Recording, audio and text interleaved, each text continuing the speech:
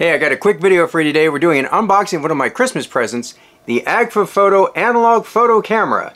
So the first thing I noticed is how compact the packaging is. There's no huge box or big plastic clamshell, just a thin cardboard box.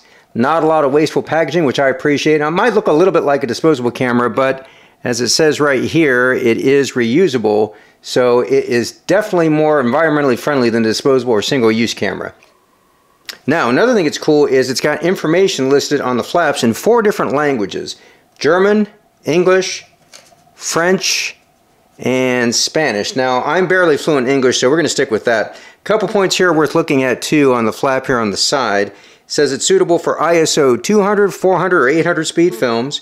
It's got a 31 millimeter lens with a fixed aperture of f9 and shutter speed of 1 120th of a second and it takes one AAA battery which is not included. Alright, let's open her up. I'm going to slice through the seal here.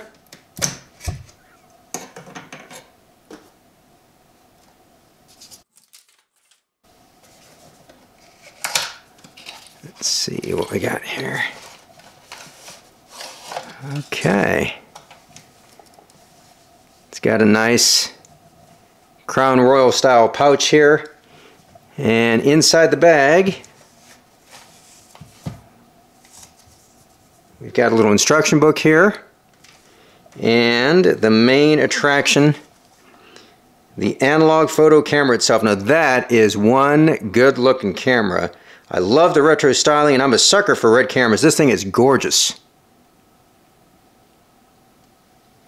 You can see it is focus free.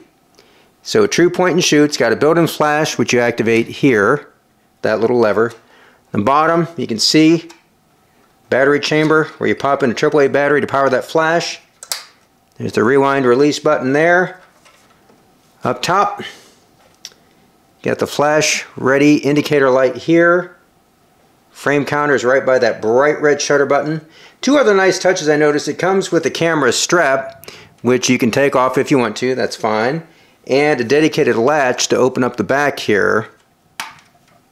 So you don't have to just pull up on the rewind lever there. Pretty standard guts inside. You load the film from left to right. The build quality is actually feels pretty decent for an inexpensive plastic point and shoot. It doesn't feel flimsy at all. It's pretty solid. Now, let's take a quick look at the user manual here. It's black and white. Again, there's those four languages. And looks like the uh, first few steps here, let's see, this shows you basically how to load the camera with your 35 millimeter film.